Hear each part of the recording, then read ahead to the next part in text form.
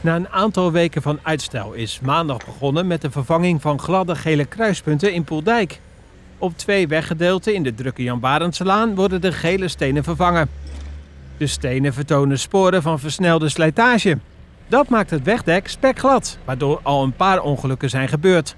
Het werk aan deze kruising met de Irenestraat in Poldijk duurt drie dagen. Voor de kruising Irenestraat is twee dagen uitgetrokken. Het autoverkeer wordt omgeleid.